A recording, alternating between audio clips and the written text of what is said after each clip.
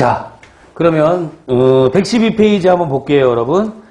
112페이지 맨 하단부에 그 6번 유액전화 거기 별표 몇 개 했어요? 세 개나 했어요? 잘했어요. 자, 세개 합시다. 세 개.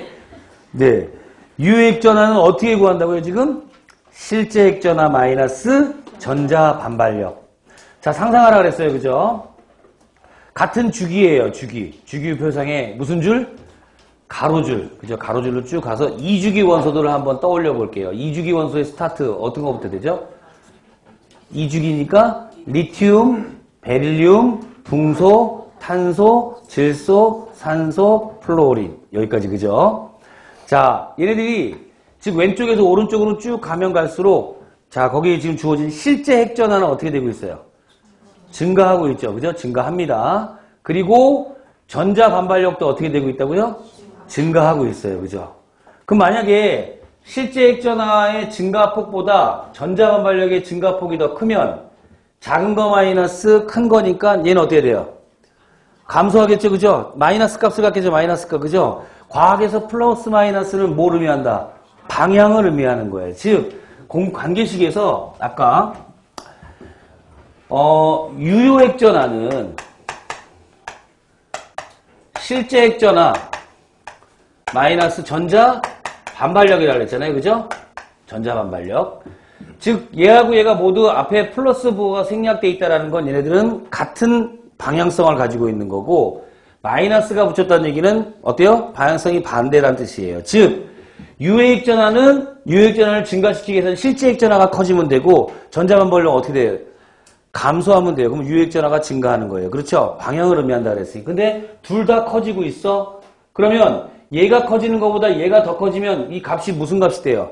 마이너스 값이 되면 전화 어떻게 되고 있는 거예요? 감소하고 있는 거다라고 생각하시면 된다 이런 얘기. 제말 무슨 말인지 알겠죠, 그죠? 자 이렇게 판단하시는 건데 뭐 수학에서 플러스 마이너스 양수 음수의 개념이 아니라 과학은 플러스 마이너스가 방향이다 기억하시고 실제 액자라 지금 아까 다시 한번 2주기에서 원자 번호가 증가할수록 증가하는 거 맞아요?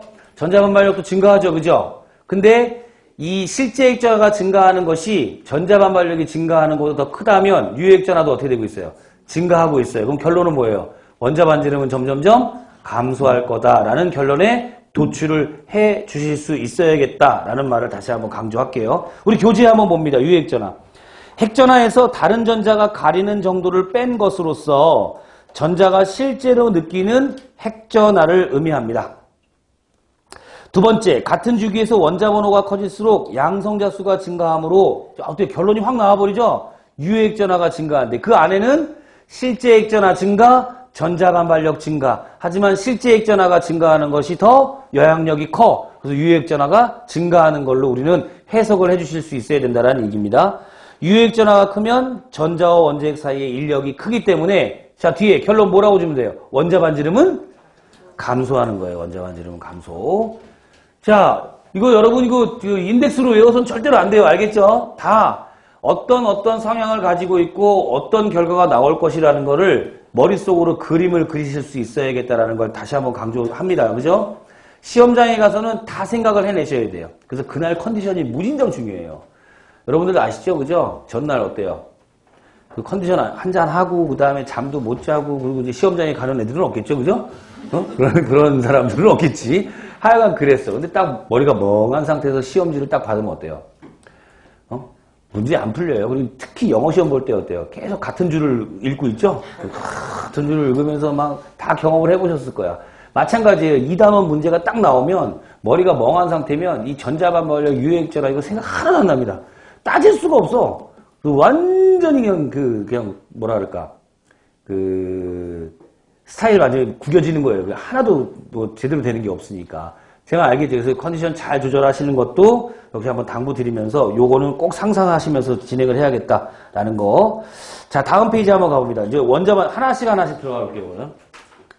자, 다시 아까 이제 타이틀을 다 지워버렸기 때문에 다시 한번 적어봅니다. 지금 공부하는 단원이 뭐라고요? 중단원이 뭐라고요? 원소의 주기적 성질. 그죠?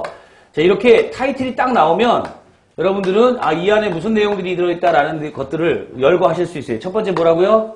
입자의 입자의 크기. 두 번째가 뭐라고요?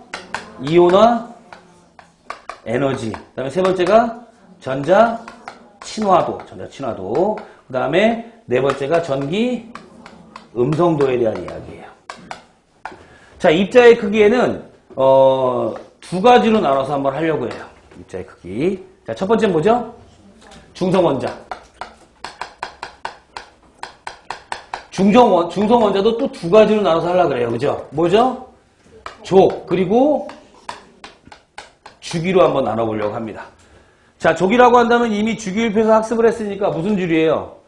세로 줄을 의미하는 거죠. 그죠? 족. 그래서 제가 리튬, 나트륨, 그 다음에 칼륨, 이거 리튬, 나트륨, 칼륨. 즉, 일족에 있는 알칼리 금속들을 한번 열거했어요. 어때요? 누가 제일 크죠?